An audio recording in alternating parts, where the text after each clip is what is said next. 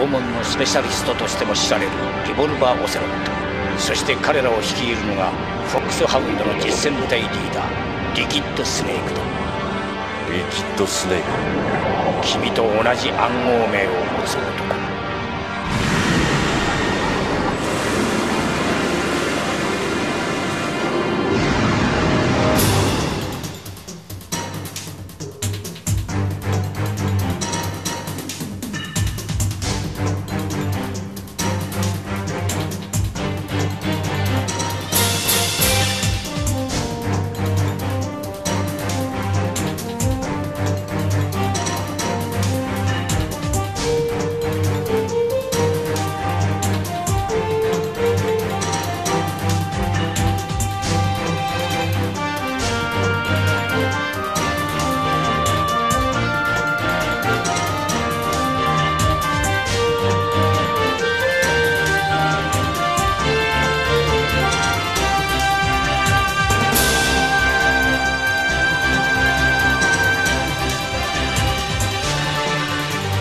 こちらスネーク。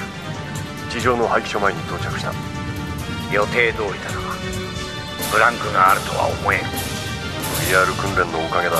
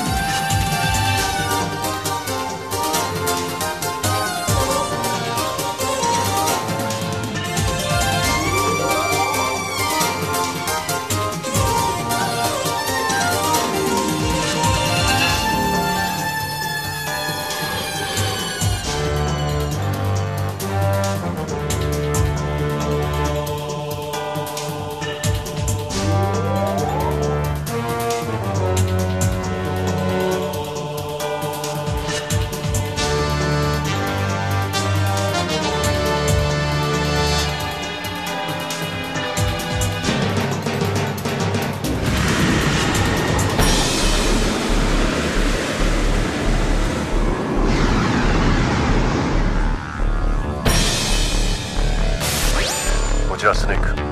大佐聞こえるか？良好だスネーク。状況はどうだ？やはり地上へのルートは中央の昇降機だけらし。いそうか。予定通り昇降機を使って地上へ出るしかないか。くれぐれも見つからんようにな。何かあれば無線連絡。周波数は140.85だ